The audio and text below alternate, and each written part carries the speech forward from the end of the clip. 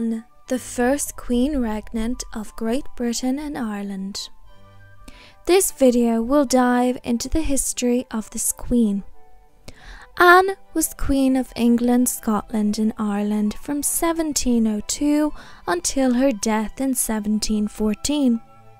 In 1707, the Acts of Union united England and Scotland as one sovereign state and was named Great Britain, and this act also united Ireland with England. Despite her numerous pregnancies, none of these resulted in surviving children, and as such, Anne was the last monarch of the House of Stuart. Her successor was George I, her German second cousin from Hanover. Anne was born on the 6th of February 1665 to James II and 7th and Anne Hyde. Though Anne was one of eight children born to her parents, only Anne and her elder sister Mary survived adulthood. From an early age, Anne suffered from an eye condition known as defluxion which causes excessive watering. She was sent to France for medical assistance and she lived with her grandmother Henrietta Maria of France and then her aunt Henrietta Anne. In 1670, her aunt died and Anne returned to England. In 1671, Anne's mother died. Anne and Mary were raised in a separate home from their father, as was the norm at the time, and were raised Protestant despite their father being Catholic. In 1671, Anne met Sarah Jennings, later Sarah Churchill, Duchess of Marlborough, and she would have a considerable amount of influence on the Queen. In 1673, James married Mary of Modena, a Catholic princess, not much older than Anne. Anne and her stepmother got on well. In 1677, Mary married William III of Orange. Anne was unable to attend the wedding as she had smallpox. George of Hanover, Anne's second cousin, visited London in 1680, and there were rumours of a potential marriage between them. However, this never happened as the Hanoverians planned for George to marry Sophia Dorothea of Celle. King Charles looked for an eligible Protestant prince as a husband for Anne. The match had to be acceptable to Louis XIV of France, an ally of Charles. The Danish royal family were allies of the French, and so a marriage was proposed between Anne and Prince George of Denmark, the younger brother of Christian V. The couple were wed on the 28th of July 1683. Despite it being an arranged marriage, Anne and George were faithful and devoted to each other. Soon after the wedding, Anne became pregnant, but the baby was stillborn. Over the next two years, Anne gave birth to two daughters, Mary and Anne Sophia. In 1685, Anne's father ascended the throne as James II and VII. As her father began to weaken the Church of England's power, Anne became estranged from her father and stepmother. In 1687, Anne miscarried. George got smallpox and their two daughters died of smallpox. In 1688, Anne's stepmother gave birth to a son, James. Rumours of the child not being James's or being an adopted child grew rampant.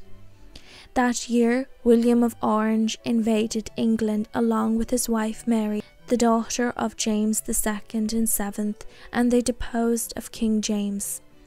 Anne was supportive of this action. In January 1689, Mary and William were declared joint monarchs. That same year, Anne gave birth to a son, William. Around this time, Anne and Sarah became closer.